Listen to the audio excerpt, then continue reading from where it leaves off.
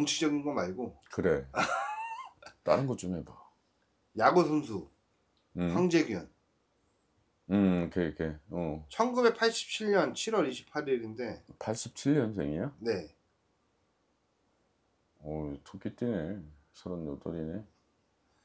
잠시만요 걔 그 지금 뭐야 그 가수 여자애랑 맞아요, 그- 맞아요, 맞아요. 그치? 지연 음, 1993년 6월 7일 닭띠와 토끼띠 묘- 묘유 파에 이분들 구설이 지금 엄청 많고 이혼할 거야.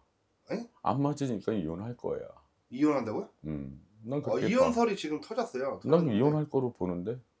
아이 두 분은 안 맞아요? 음, 안 맞아. 궁합 자체도 안 맞는 데다가 황재균이라는 친구는 그이 지금 우리 남자들의 또 건강하고 또 더군다나 운동하는 친구잖아. 음, 그 친구는 평생 살아가면서 여자를 조심해야 돼.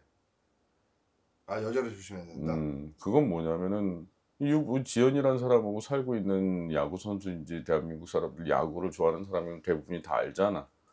근데 아는데도 그 친구는 여자를 밝히는 친구니까. 그리고 또 이 지연이라는 친구가 닭띠 32살 같으면은 애교 같은 것도 많이 있겠지만 반면에 징징대는 스타일이라고 할까? 그리고 모든 걸 자기한테 이렇게 다 맞추려고 하는 그런 근성이 있을 거야. 처음엔 사랑하고 좋아 죽겠으니까 결혼을 했지만 살면서는 계속 팥살이 들어있기 때문에 부딪힘이지. 거기다가 황재균이가 지금 토끼띠 38 같으면은 내년이면 무조건 종친다고 봐야지.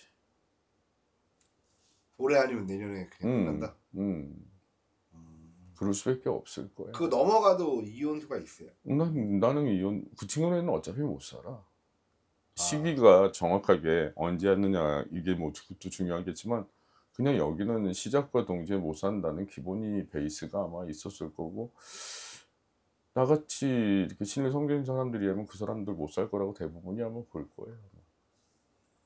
못 살아.